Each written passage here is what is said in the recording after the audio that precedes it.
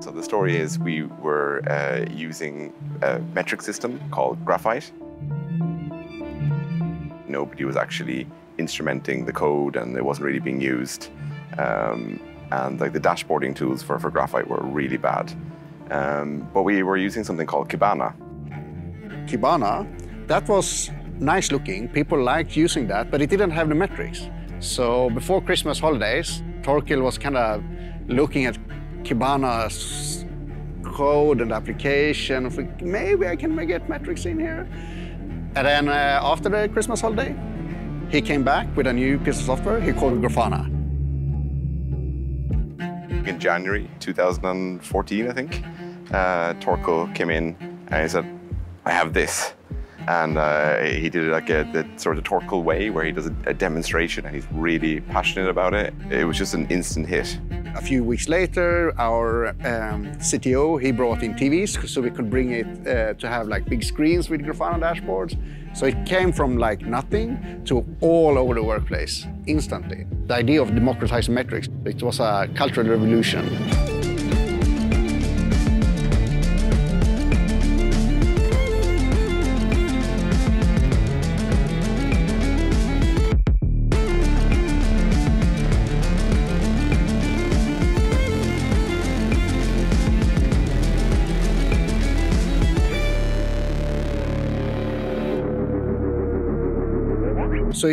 He, he got some open source feedback, and there was building a community. Started people people started using it, and he figured he wanted to give this a try. Just the idea that you could, um, you know, kind of WYSIWYG, right, build a dashboard for Graphite was was pretty was pretty uh, revolutionary at the time, right? It was pretty profound. Like nothing like that existed. The first time that I really got it, that okay, how, how big this could be, was at Monitorama in Portland in 2016. And then like I looked around and I was like, there was a queue of people like standing behind me waiting to talk to Torkel. But that, that was like when you say, wow, yeah, like, like people are really enthusiastic and, and, and, passionate about it. Grafana is popular and people giving us high fives and everyone was uh, loving the product. And that was just something I've never seen before. I fell in love with it when I could see the data that I produce at my home and seeing the dashboard with like all of the visualizations and I could interact with the data and I could like learn more about my surroundings. There was a company that put shipping containers on the roads in Paris and inside those containers they grew strawberries and like the whole hydroponic system and the HVAC and everything was all monitored and visualized using Grafana. Unnamed rocket launching companies, you know, you can see in their live streams, you can see Grafana dashboards. You know, I'm a huge Formula One fan, and you can see on the pit wall in some Formula One races Grafana dashboards. Seeing that pop up in so many places, it's just so exciting. From the day one, I understood that community is very important to like everyone in Grafana, helping our users on community forums and talking to them. We are helping to investigate bugs, create new features, and uh, looking at their dashboards at Twitter because a lot of people like to like share like what they've built. We still get lots of um, external contributions, lots of drive-by contributions, and that's brilliant. Like we love to see people engaging with the project in that way. MySQL and, and Postgres data sources uh, were all contributed by people in the community. Uh, the Prometheus plugin uh, uh was, was also a PR. That was really important, sort of keeping up and following the next wave. It's big tent, right? We're trying to we're trying to do this for everyone, and yeah, but it's that's also what got us here. Torkel made that decision very early on that uh, I'm, I'm going to actually support multiple databases. People at the time thought it was a really weird decision. Like, why, why would you support multiple databases? And yeah, it has all these problems. Um, but that, that was the start of the Big Tent. It's been central to our, our success. We've gone from being a very metrics oriented solution to really kind of Big Tent now includes like, um, you know, other forms of telemetry. I'm super proud of what we build. I, I, I, just gotta say that. It's nowhere close to where I thought we would be going. I think I said during some meeting internally that there's never gonna be a need for more than 30,000 Grafana instances in the world. And I've been proven quite wrong. We can't really see all the potential, but we can still be the UI for so many different ways of uh, storing data and reacting to data and integrating data. Super, super happy about that.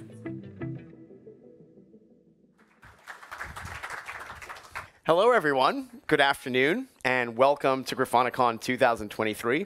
It's great to be here. We're back in Stockholm, where it all started, joined by tens of thousands of uh, virtual attendees streaming from all corners of the world. So a warm welcome from all of us.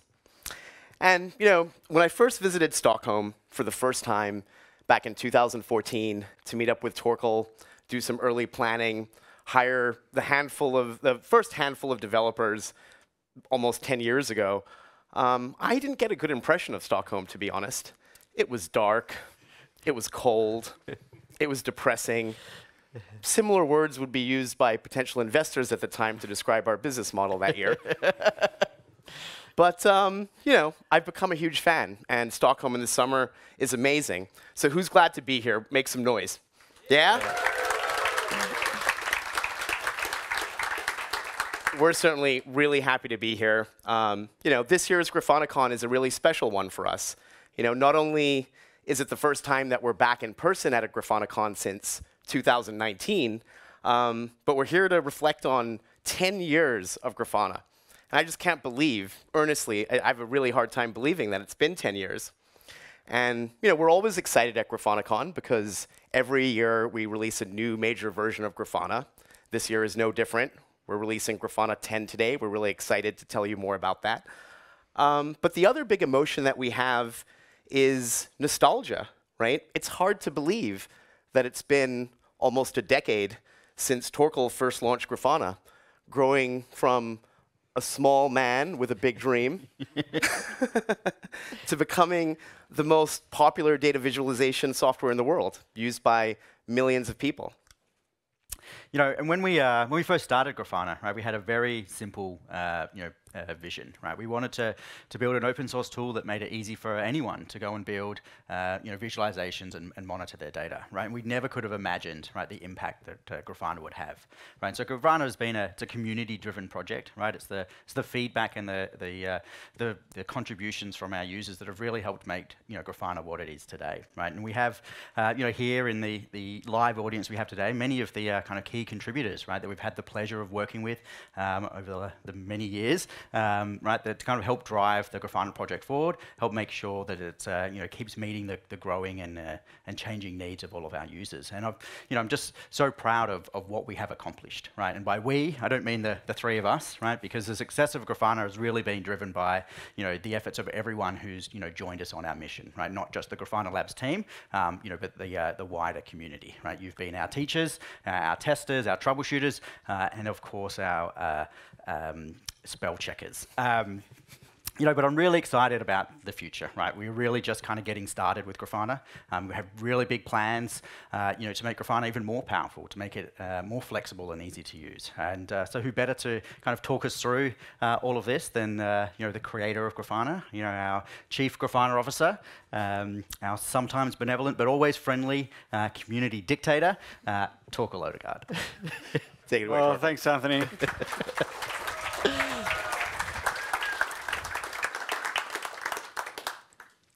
So, as Anthony and Raj said, it's been 10 years. So in December 2013, I started working on Grafana. It's hard to, hard to think that's been th this long, but um, we'll celebrate not only, uh, we'll, we'll not celebrate this with Grafana 10 release, but also take a look back at these 10 years and see how this project got started, sort of how it came about, the big milestones and forks in the road that got us to where we are today. So let's start with how it all got started. And for me, it started with falling in love with graphs and, be, and the ability to visualize production systems that were mostly black boxes up until then. And this love started with two great open source projects, Graphite and Kibana. So Graphite, for those who don't know, was the king of time series databases in the time before Prometheus. It had a pretty rich, amazing query language to, to enable you to query and analyze metrics and graph them. It was uh, super easy to instrument your application with libraries like StatsD and other metrics framework. And it was a little bit harder to, to actually build and, and graph them, but it was very powerful and very visual. And I just fell in love with being able to see the applications and services come to life in real time. being able to visualize applications, service behaviors, and performance behaviors, and user and business metrics, and see how those were impacted in real time as changes were being deployed and rolled out. It was just really exciting and transformative to, to deploy a change and see the in production user impact of that change. But Graphite had a big problem, and that was usability. Uh, the graphs were not interactive, they were just PNG images, and you could not kind of mark a region or hover over data points. Uh, and actually building the dashboards and editing the queries and building the graphs was very cumbersome and very hard and complex. So many of the people on my teams didn't build dashboard, they didn't instrument their applications because it was just too hard, it took too long, it was too much to learn. But at the same time, we actually started using Kibana. Kibana was a new open source tool to build dashboards and visualize logs stored in Elasticsearch. It also started its life in 2013. And Kibana, I think, really changed the game for centralized log visualization and dashboarding also.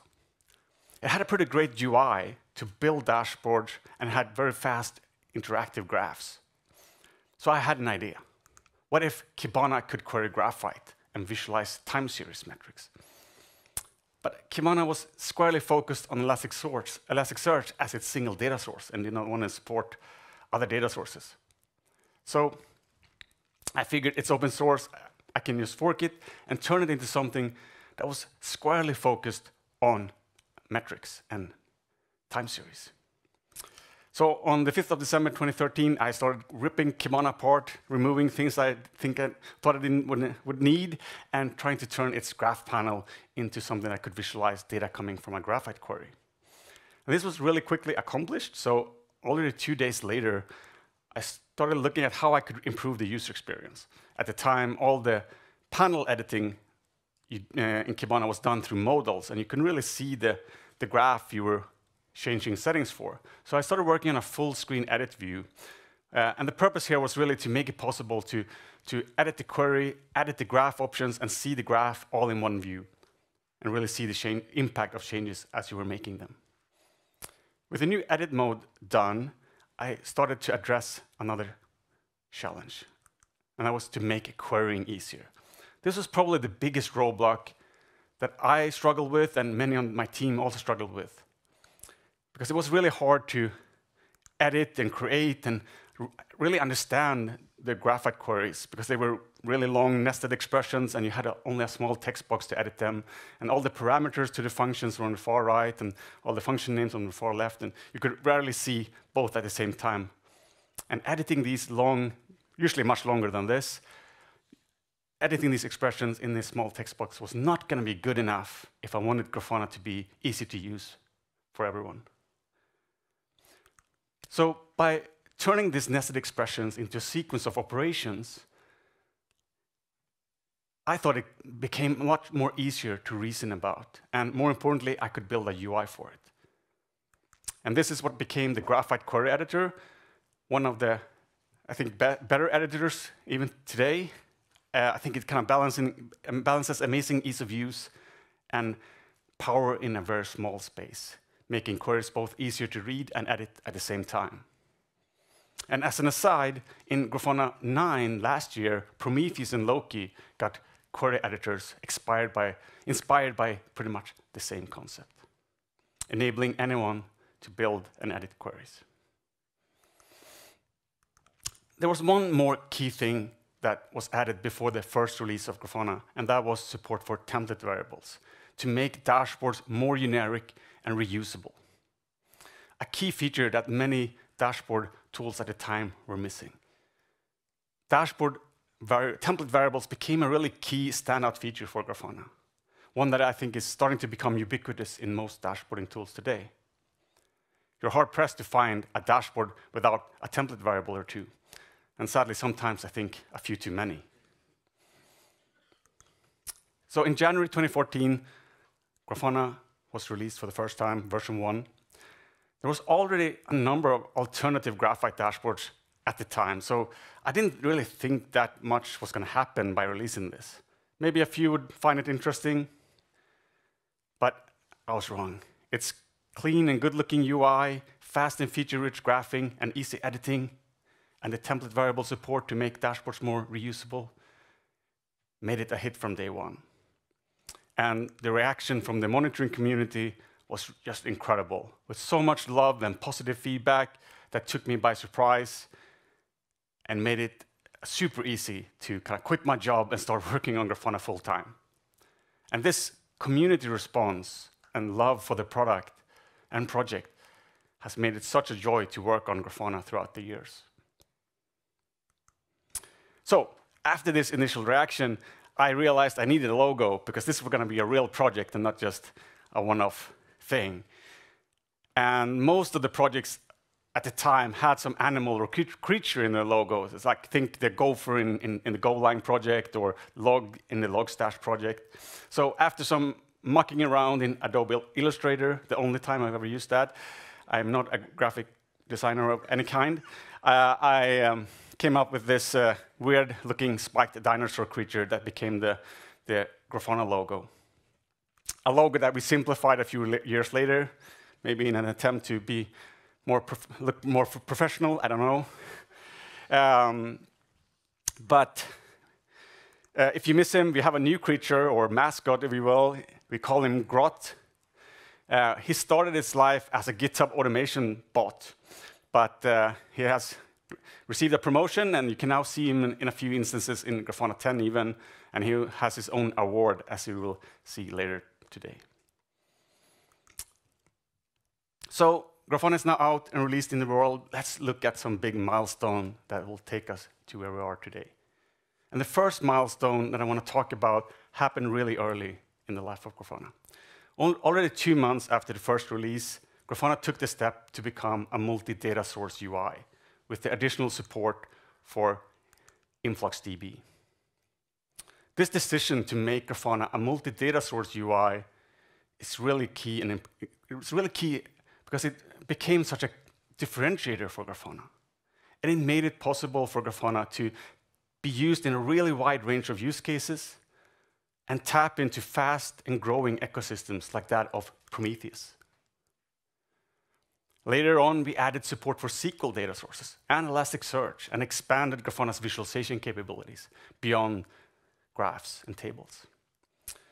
But the most important thing we did in those early years was creating a plugin system and a plugin catalog, making it possible for anyone to extend Grafana with new visualizations, new data sources, and new applications. This was a really key moment as it turned Grafana into a platform and set the stage for Grafana Labs' Big Tent policy or Big Tent strategy that doesn't see competitors as something to keep out, but as partners to integrate with. This strategy and this plugin system enabled now countless supported data sources, visualizations, and applications, making Grafana a really unique platform and a true single pane of glass solution. So, next milestone, I think, is when we introduced alerting in Grafana version 4. By introducing alerting, Grafana became more than just a visualization tool. With alerting, Grafana took the step closer to becoming more of an observability platform, an observability solution.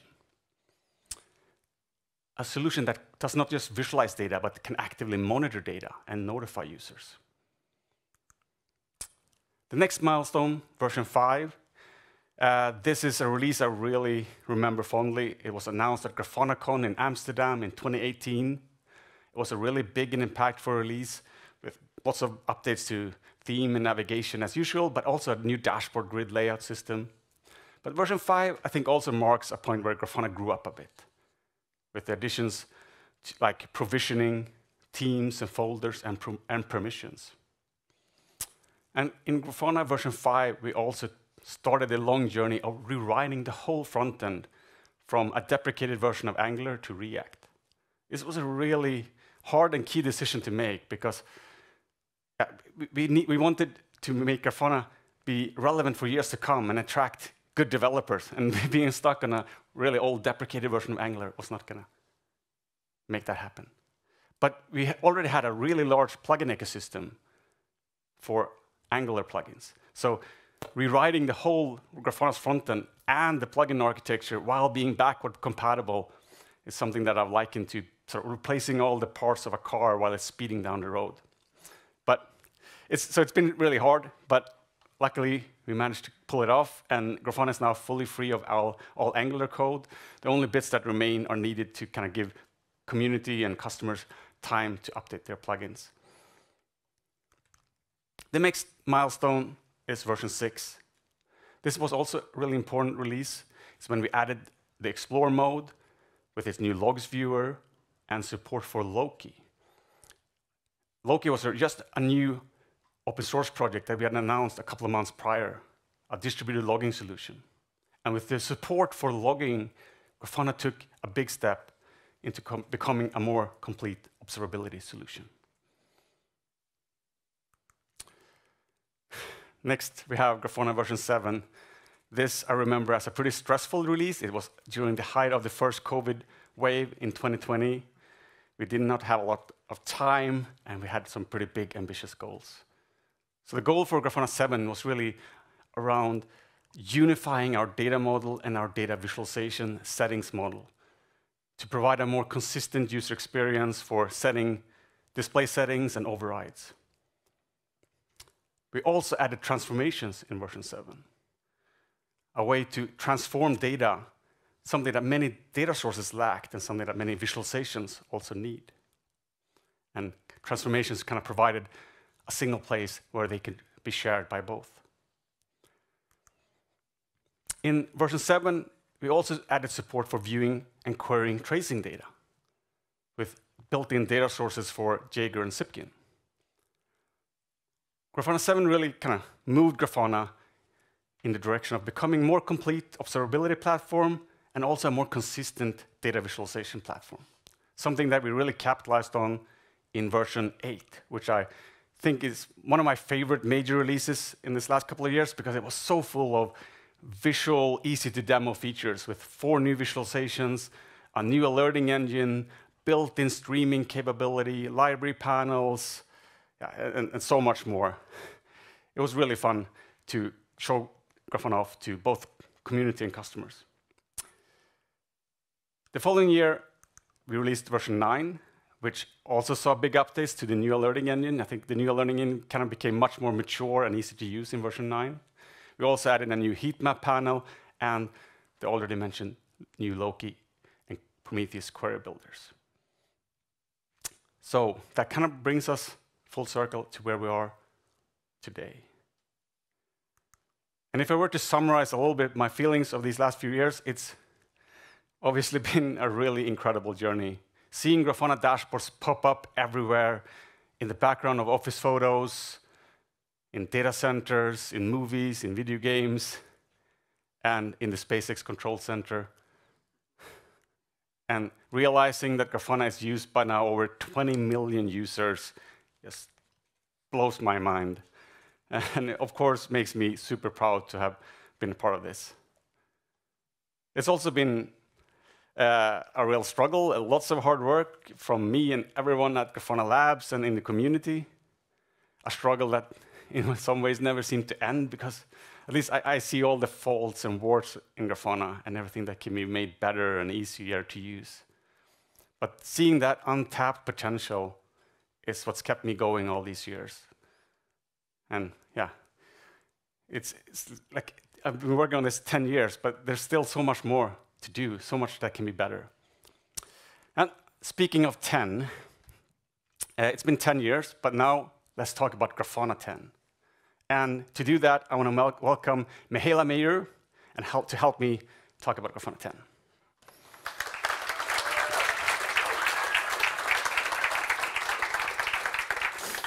So uh, she's a director uh, of the front-end team who has been really instrumental in many of the developments you find in Grafana 10. So I want you to walk us through some of the highlights.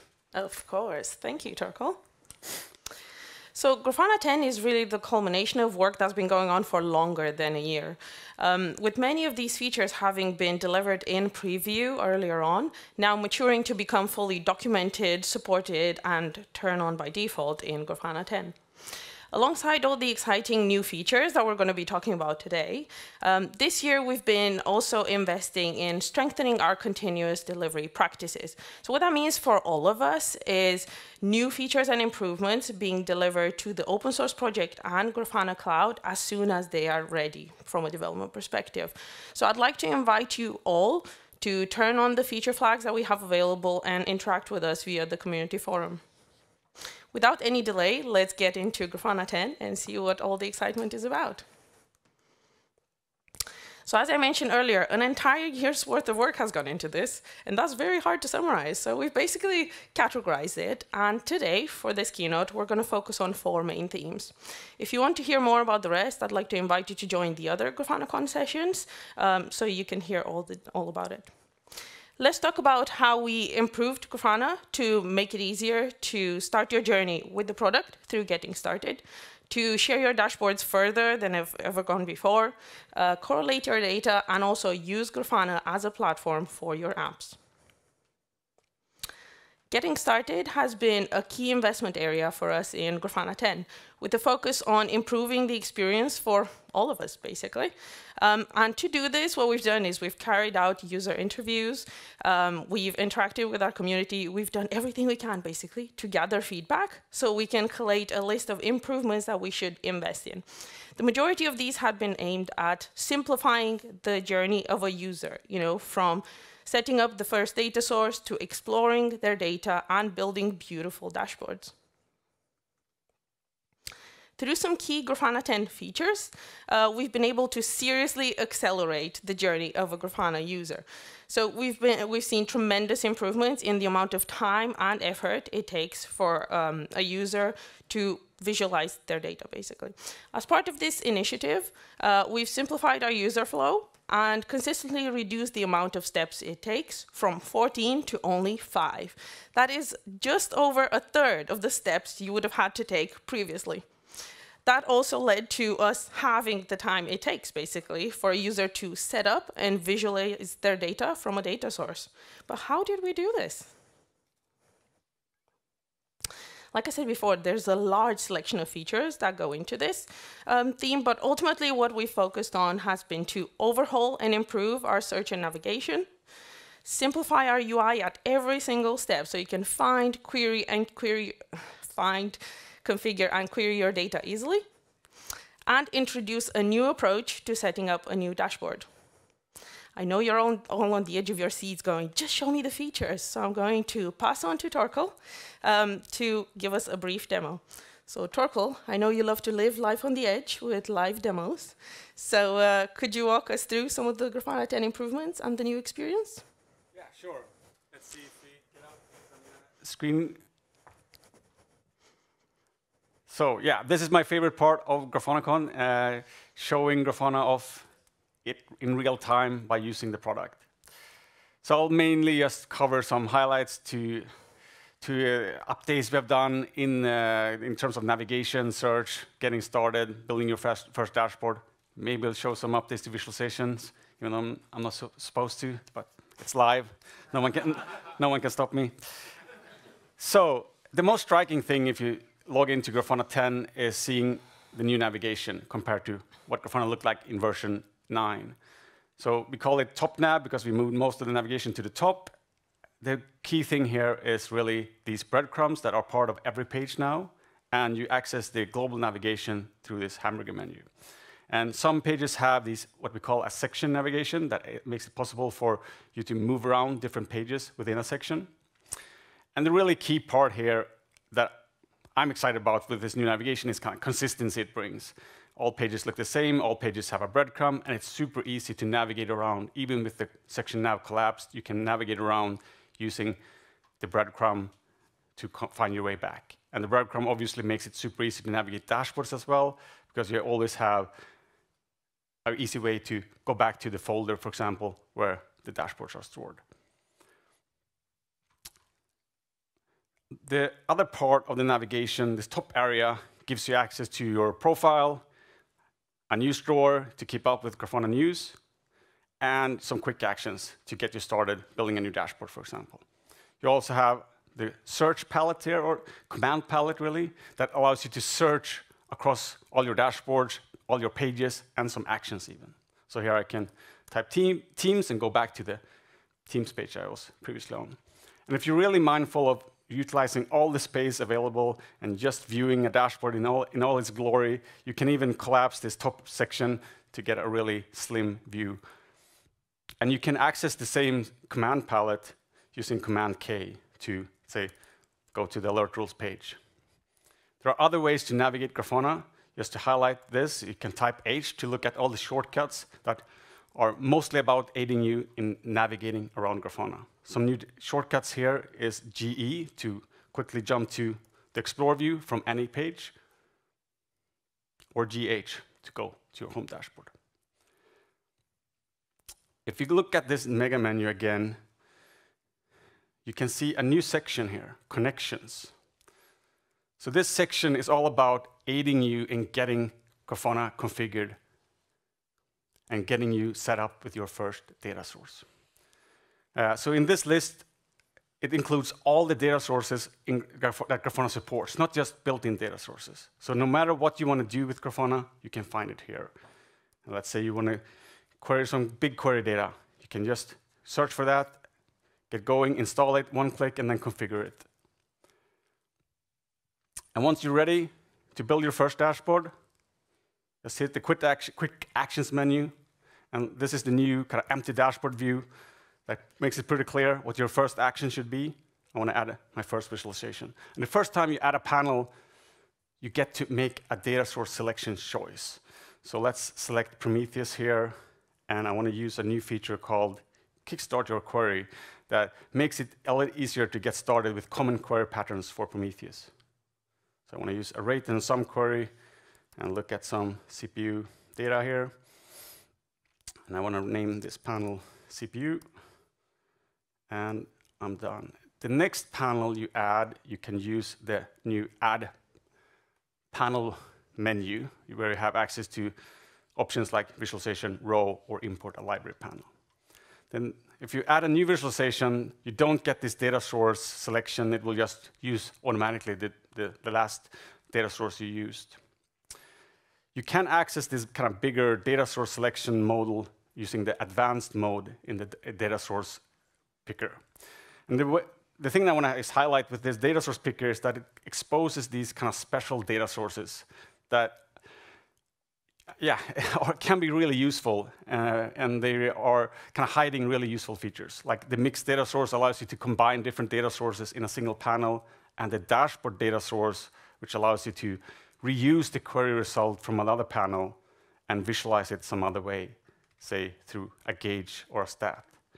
This is at least a pattern that I use a lot to visualize the same query result in two different ways. So that was a quick glimpse at some of the kind of changes we've done to the build your first dashboard kind of experience. I also want to highlight some updates we've done to visualizations and especially annotations. Uh, a long-standing feature request in Grafana has been to control which panels annotations show up in. So by default now, these annotations show up on all these graphs. And what you can do in Grafana 10 is actually control which panels the annotation events are visualized in.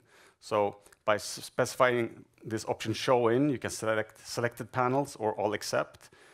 I can select that and do unlabeled. And hit apply, come back, refresh. And you can see that these annotation events are only visualized in the panel that I actually want them to be visualized in.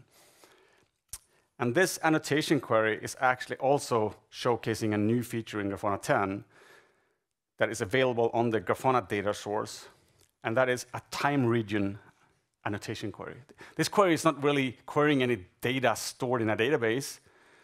It's generating events based on time region configuration. And this is kind of replacing an old feature that existed in the old graph panel uh, but then it was kind of done as a display setting. Here it's done as an annotation query because we thought that like, yeah, re time regions should be data driven. It should be controlled by data, not by a display setting.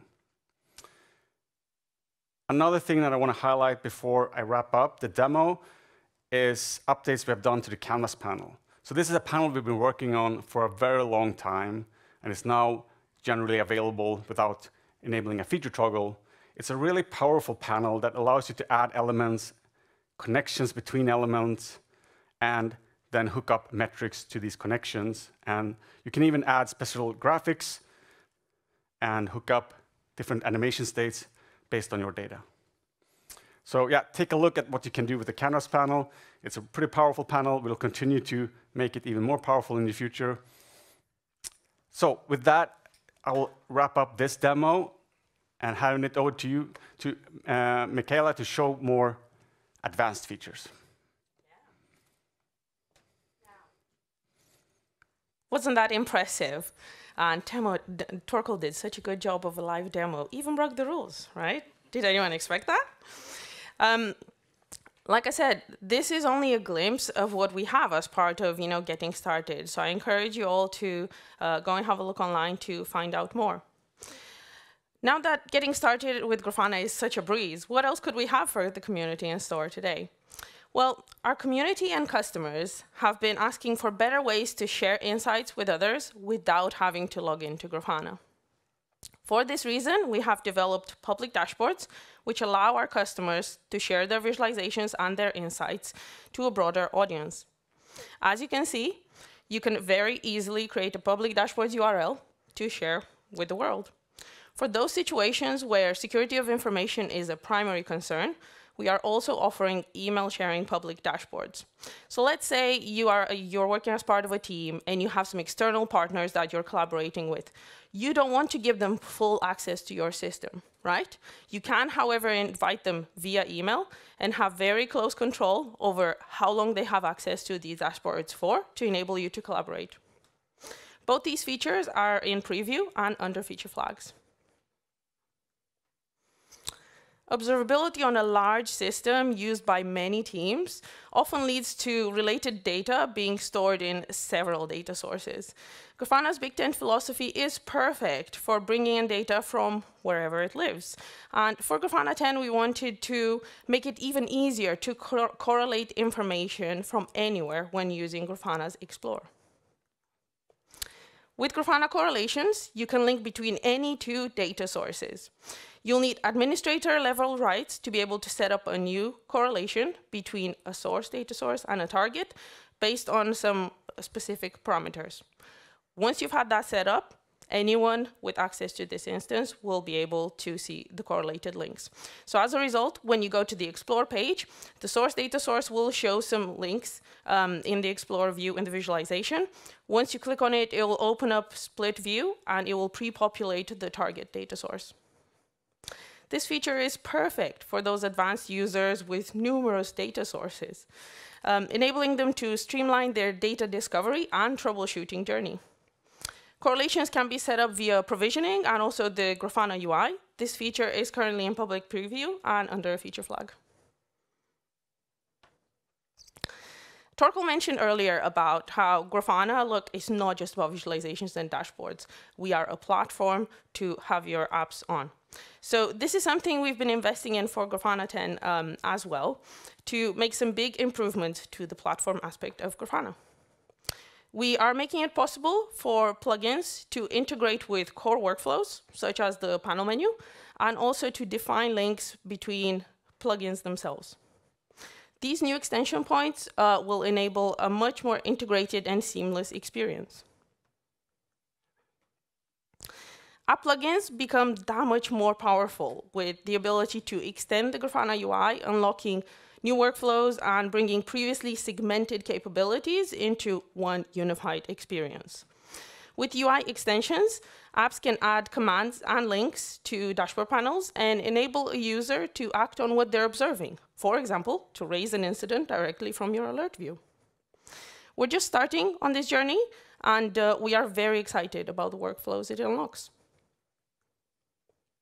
We also want to present to you the Grafana plugins tools, which replace the deprecated Grafana toolkit and provide a faster and much more flexible way for developers to create and update plugins. There's no need for you to learn and configure all the build tools for a Grafana plugin. The new instant plugin development environment helps you focus on coding, and you can easily distribute your plugin today using GitHub workflows. Spend time where it really matters, designing and developing a Grafana plugin. There's much more to Grafana 10 than what you've seen so far. There are so many features you can experiment with, so head over to the Grafana 10 What's New page to see a full list of what's available. We know you're as uh, excited as us, you know, to get your hands on the latest Grafana version, and would like to invite you to also join the deep dive into Grafana 10 session, which will happen virtually on June 14th, to hear more and kickstart your Grafana 10 journey. Now, I was telling you earlier about continuous delivery. So as you can imagine, my colleagues here in the room, but also those back home, are already working on the next greatest feature that we're going to present to you. So with that in mind, I'm going to pass on to Torkel to talk to us more about that.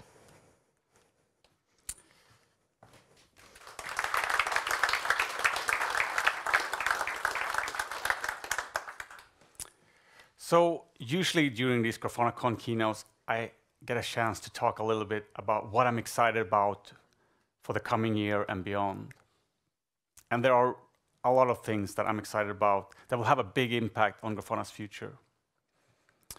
So I'm really excited about seeing more opinionated solution apps that brings together metrics, logs, and traces into a more dynamic and easy-to-use experience. And we're continuing work on the platform to make these apps feel more native and feel more interconnected. And that is something that sort of will be, will be continued, uh, be a strong focus for, uh, for us the coming year to enable apps to do more and for the platform to provide more things for app developers. I'm also really excited about innovations in the core dashboarding capabilities and of course, excited to explore the recent progress and leverage the recent progress in AI. AI presents lots of exciting opportunities for Grafana, and we have many teams working on this already, exploring ways to make writing queries easier uh, or summarizing incidents and more. The key thing here is that we'll do this the Grafana way in the open through our open source projects and through engaging the open source community. So during last year's GrafanaCon keynote, I did mention that one thing that I was really excited about for the coming year was working on dynamic dashboards. And those were not just empty words. Reworking and rethinking how dashboards work has been my key focus this last year. It's taking a bit longer than I hoped, but we do actually have something to show for it, and it's actually part of Grafana 10. We call it scenes. It's the next generation dashboard architecture designed from the ground up to do all of the dynamic things that we've been wanting to do for years in dashboards. Things like conditional panels, flexible and responsible layouts, data-driven layouts, nesting and composition, template variables and time ranges on different levels of a, of a dashboard, support for different forms of drill down, and be much faster, of course. But more importantly, this new framework and this new architecture is designed to be used as an extensible library from application plugins to build really dynamic and engaging data applications with. And that is the part that is actually shipping Grafana 10.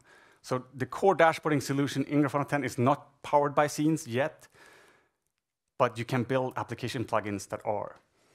And I want to give you a sense of what you can build with this new framework. So let's do another live demo and see how this can look, what, what this could look like.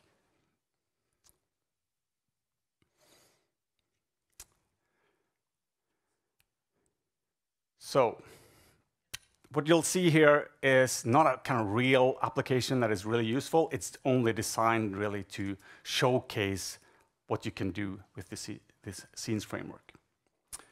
And at its core, scenes enable you to embed dashboards into your applications that include things like template variables, time ranges, refresh picker, a layout of visualizations, but it's so much more than that.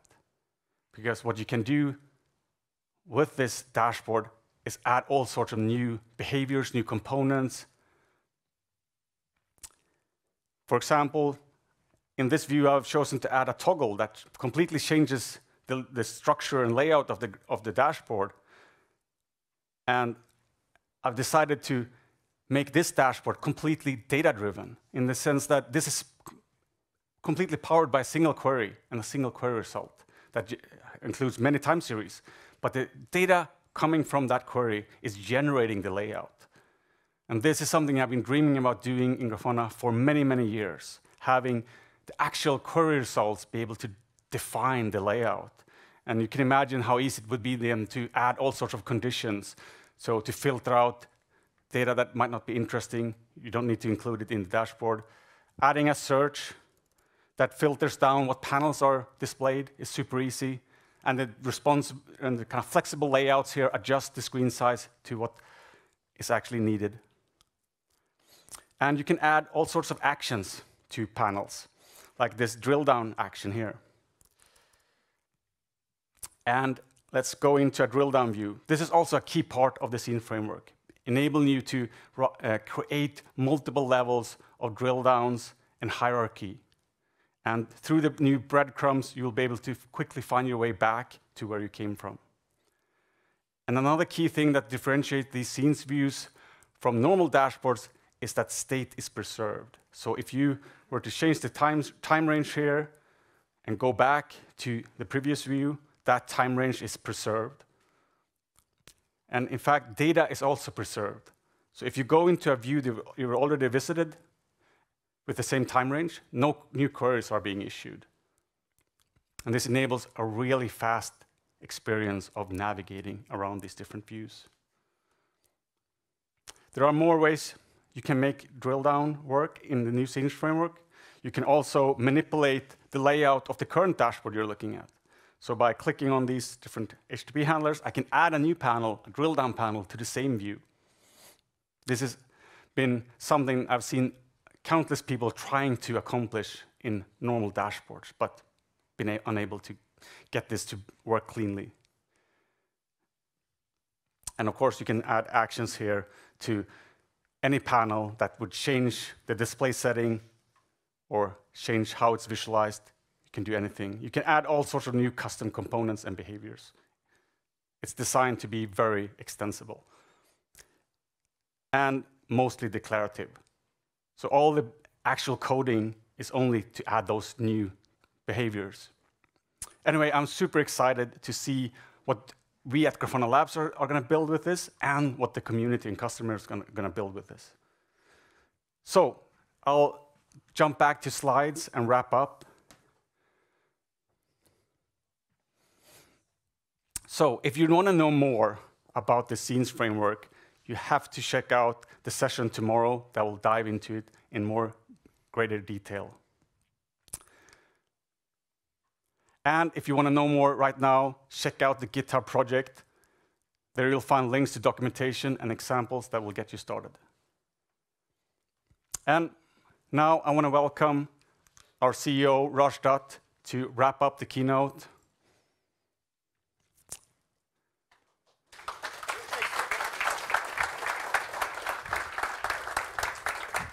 Thanks, Torkel. And uh, great job to you and Mihaela for giving us an overview on Grafana 10. I know everyone here is excited. I certainly am. So hello again. Hopefully you've gotten a good sense of some of the new features in Grafana 10 um, and some of the wide variety of use cases that our open source software is used for. So this has kind of become tradition at GrafanaCon, and this year it's no different. But it's always exciting and interesting for us to look back over the last year and kind of see what the community has accomplished out in the wild, right? We're constantly inspired, surprised, sometimes confused, sometimes amused, oftentimes impressed um, at what the community gets up to, right? And that's the magic of open source. You, you get to see a thousand fl flowers bloom, and we take a lot of inspiration from that. So let's go back and look at six or seven dashboards that caught our eye over the last year, and I'd love to use it as a way to kind of give everyone here a sense of all the different use cases that Grafana is used for. So here's the first one. And as you know, there's many fans at Grafana Labs of rockets and aviation. In fact, we're kind of enamored that uh, various uh, rocket companies, both public and private, are using Grafana to help with their launches. But this is a dashboard that Philip Doe, who's a university student, software engineer, and general space enthusiast uh, from Southern California um, at the University of California, Los Angeles, created. And this shows um, a lot of interesting telemetry data from the rocket that actually won uh, the world record for the highest rocket altitude for a liquid rocket um, at the collegiate level. And so they won the dollar per foot challenge, which literally pays this team a dollar for every foot that the rocket goes up. So quite an interesting challenge. And this rocket uh, focuses on liquid propellants, which is pretty interesting. Um, greater control, but much more complicated than solid propellants. And so Grafana is an essential tool for this team. And you can see this dashboard is monitoring things like pressure, um, altitude, um, you know, from sensors like pressure transducers, thermocouples. You know, this is way outside the normal use case of uh, monitoring data centers and server servers, right? And a lot of us think this kind of stuff is really cool and really interesting. So the good news is, is that the team had a successful launch. That's the launch of the rocket there on the left. And they managed to recover the rocket after. And I love the fact that among some large companies like 3M and Siemens, uh, Grafana's up there as uh, one of the key collaborators on the launch. So we found that kind of cool. So congrats to uh, Philip Doe and the team there for their uh, accomplishment. We were enamored by that. So now from all the way up in the sky to all the way down uh, at the ocean level, this is another interesting example. So I don't know how many people here have heard of the ocean race. I hadn't until we saw this dashboard. But the ocean race is a around the world sailing competition. And it's described as, by many people, as the longest and toughest professional sporting event in the world. Uh, this race normally lasts tens of thousands of miles. In previous years, it's, it's uh, been up to 50,000 miles. And you can imagine uh, just the endurance and the intensity of these sailing teams having to sail 24 7 for months and months on end, competing. So this dashboard that you see here is for one of the boats in the competition, the Malizia. Um, and it monitored things like its GPS location, uh, wind speed, boat speed, um, air and water temperatures. Um, can't see the whole dashboard here. I wish I could scroll it. Um, but you know, and renewable en energy uh, generation through the boat solar panels. And so we thought this was super interesting, and it was really key, uh, really cool to see this team using Grafana to help them track their progress during the race. So here's another one, a little bit, uh, little bit more up our wheelhouse of the normal core observability use case. So this is from a team at IBM. And this was presented at SustainabilityCon, and they basically optimized and focused on sustainability at the data center level.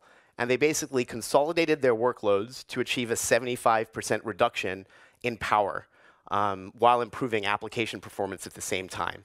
They migrated to a cloud native workload, moving away from uh, x86 to IBM LinuxONE. Kind of figures because it is IBM. I'm not too sure that there's a lot of other people um, using that. Um, but uh, we have our own session uh, uh, later in GrafanaCon about how a company is using Grafana to optimize its energy consumption. So if you're interested in that, definitely check it out. And here's another example from Hannah Hemsing, who's designed an air sensor uh, along with a Grafana dashboard that is available on GitHub. You can check it out and you know potentially run this sort of thing at your uh, inside your home. Um, this kind of solution actually provides much better insight performance than a lot of commercial solutions out there, and uh, it's kind of fun to set up. So it's using Prometheus. It's using a ESP32 uh, device, which is kind of an open sensor that you can buy pretty cheaply, and uh, you know monitoring things like air quality, carbon dioxide levels, humidity, temperature, and uh, it's pretty cool, pretty easy to set up.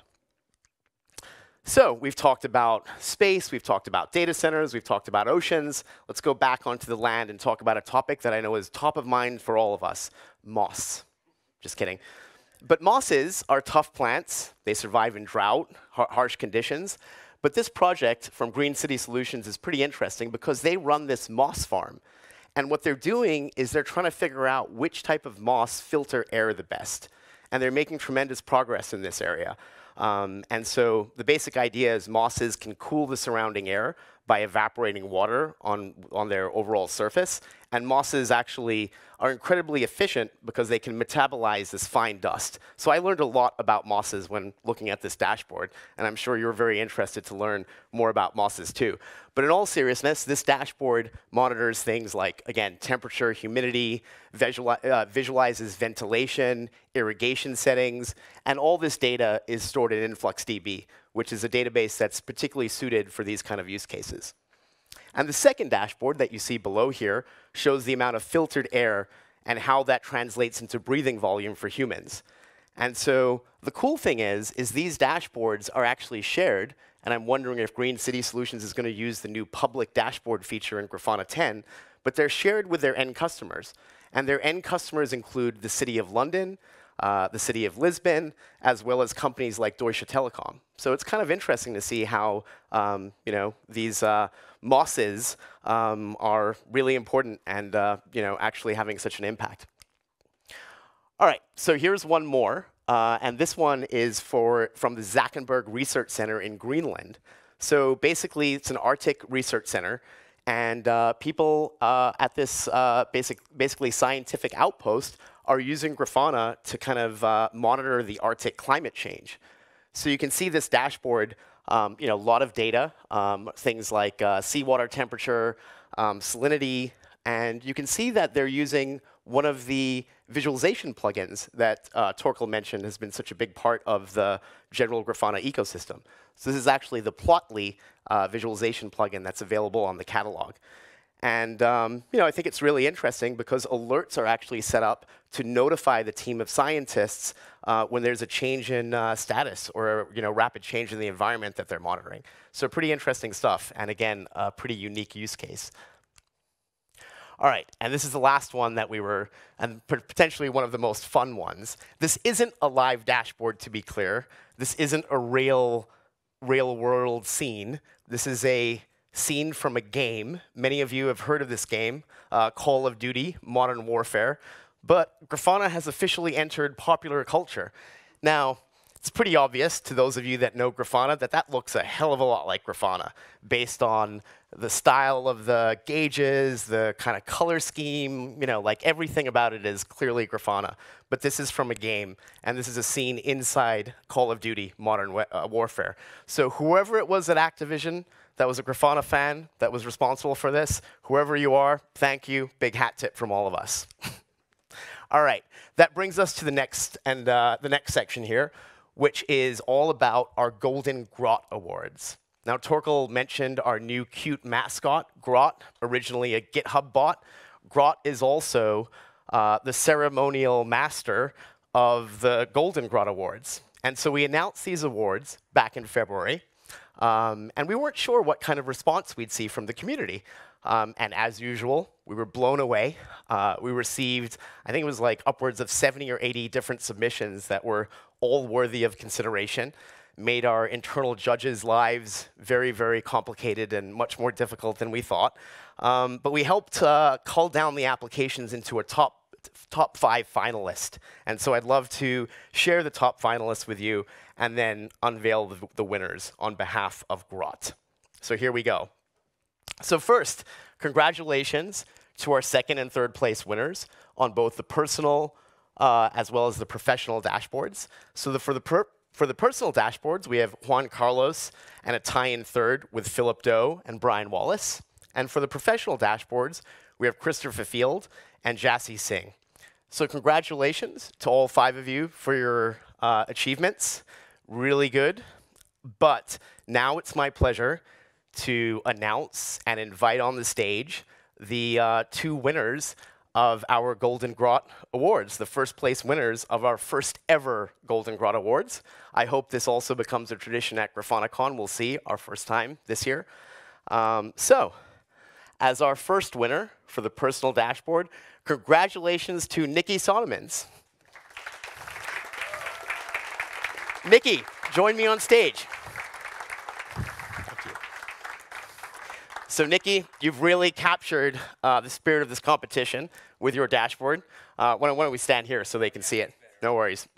so, you know, it's taking complex sets of data, transforming them into beautiful visualizations, And obviously, many people in Europe are currently concerned with both clean and traditional energy generation, especially with recent events over the last uh, little while, right? And so it's really great to see a colorful Grafana dashboard that really effectively presents a significant amount of energy infrastructure data from open data. So really good job, Nikki, to utilize obviously the latest GeoMap panel in something that's really easy to understand. And I absolutely love this dashboard. Keep going back to it to learn more about uh, kind of this geopolitical energy intersection of data. So congratulations as our winner. So yep. Let's take a picture for, uh, for the photographer in front of your dashboard. Congrats. There you go. Thank you so much. No worries. All right. So that was our personal dashboard winner. Congrats again, Nikki. And for our professional dashboard, the winner for the Golden Grot Award, I'd like to congratulate Raymond Soden. Hey, Raymond. Congratulations. All right. So there were so many great entries in this category, and I think what made Raymond's dashboard stand out was really the completeness of this system. I mean, you've packed an incredible amount of information into what is a, clearly a very information-dense dashboard. Um, you know, really interesting layout using the gauge panel, using all sorts of different visualizations. I think this is really a cool example of what uh, what Grafana can do. And uh, you know, it's uh, kind of uh, in addition to the infrastructure and application data, also got some Zendesk stuff, the OpsGenie stuff. So really good job. Love your T-shirt too, by the way. Congratulations. All right. All right. So congrats again to our first annual Golden Grot Prize winners. Really proud of all the amazing things that the community is doing with Grafana. We're constantly inspired every year.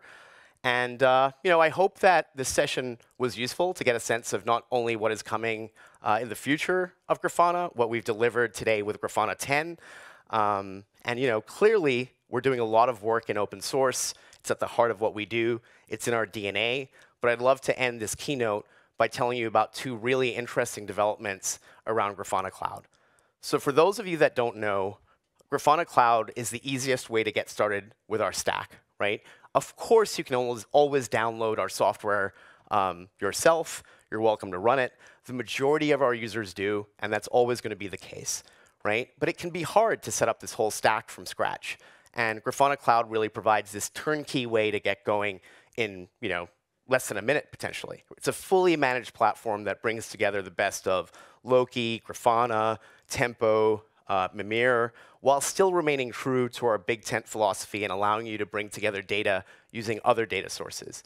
So there's two things I'd like to tell you that are relatively interesting about Grafana Cloud, including a new announcement that we'd like to make today. So the first is a little bit of a apology that I'd like to offer every observability customer uh, in the industry. I think that observability vendors, including Grafana Labs potentially, have done a pretty crappy job of aligning the value that you get from the data that you send to your systems with the cost of the data, right? The volumes of data are growing exponentially, but I don't think the value that you're getting from the data has also grown exponentially. So there's been this disconnect over the last few years. And I think that that disconnect is particularly problematic in the current kind of economical economic uh, conditions, right? Where we really care about making sure that we're getting the right value, um, you know, budgets are being constrained, et cetera, et cetera. So the feature I'd love to talk to you about today for a minute is adaptive metrics.